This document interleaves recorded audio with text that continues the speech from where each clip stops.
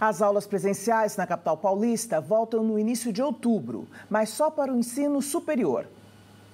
Aqui, então, em coletivo online, o prefeito de São Paulo, Bruno Covas, anunciou a volta às aulas para faculdades e universidades no dia 7 de outubro. Na mesma data, alunos da educação infantil, ensino fundamental e médio, tanto de escolas públicas quanto particulares, podem voltar à escola para atividades extracurriculares, como reforço escolar. As instituições de ensino devem cumprir todos os protocolos sanitários, como uso de máscara, redução da capacidade, distanciamento social e higienização dos ambientes. A retomada das atividades curriculares para estes alunos ainda não foi definida.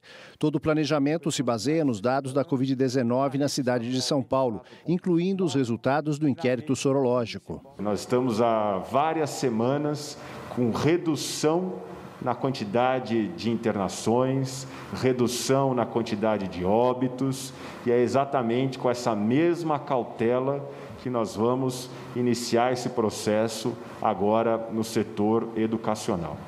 É, vamos continuar a realizar os inquéritos tanto de adulto quanto de crianças para poder avaliar se é o caso de manter essa mesma linha é, ou de ter outra posição a partir do dia 3 de novembro.